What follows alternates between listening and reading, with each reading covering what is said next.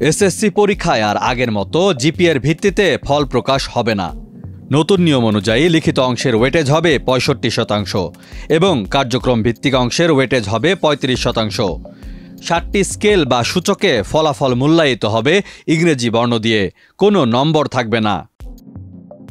খসড়া মূল্যায়ন কাঠামোয় এক একটি বিষয়ে পাঁচ ঘণ্টা পরীক্ষা নেওয়ার কথা আলোচনা হয়েছিল এনসিসির বৈঠকে।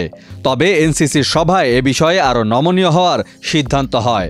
এক্ষেত্রে প্রতিটি বিষয়ে সর্বোচ্চ এক স্কুল দিবসে মূল্যায়নের সিদ্ধান্ত নেওয়া হয়। নতুন কাঠামোর খসড়ায় বলা হয়েছিল, শিক্ষার্থীর নির্ধারিত পারদর্শিতা অনুযায়ী ষাটটি স্কেল বা সূচকে ফল অথবা রিপোর্ট কার্ড প্রকাশ করা হবে। এই সাত স্কেলের নাম হবে অনন্য, অর্জনমুখী, অগ্রগামী, সক্রিয়, অনুসন্ধানী, বিকাশমান ও প্রারম্ভিক। যেমন সর্বোচ্চ স্কেল অনন্য বলতে বোঝানো হবে, শিক্ষার্থী সব বিষয়ে পারদর্শিতার চূড়ান্ত স্তর অর্জন করেছেন। প্রারম্ভিক স্তর বলতে পারদর্শিতার সবচেয়ে নিচের স্তরকে বোঝানো হবে। রিপোর্ট কার্ডে শিখনকালীন মূল্যায়ন ও পাবলিক পরীক্ষার মূল্যায়নের ফলাফল আলাদাভাবে প্রকাশিত হবে।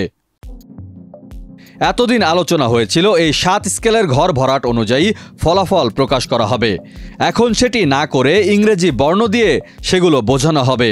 তবে এই লেটার গ্রেড এখনকার মতো নম্বরের ভিত্তিতে হবে না। পারদর্শিতার স্তর অনুযায়ী এই লেটার গ্রেড হবে। মূলত অভিভাবক সহ মানুষ যাতে সহজে ফলাফল বুঝতে পারে, সেজন্য এটি যুক্ত করার সিদ্ধান্ত হয়েছে। সব কিছু চূড়ান্ত হলে কার্যপত্র প্রকাশের মাধ্যমে নতুন এই ফলাফল পদ্ধতি আরও বিস্তারিত তুলে ধরা হবে। ডেস্ক রিপোর্ট দেশ রূপান্তর।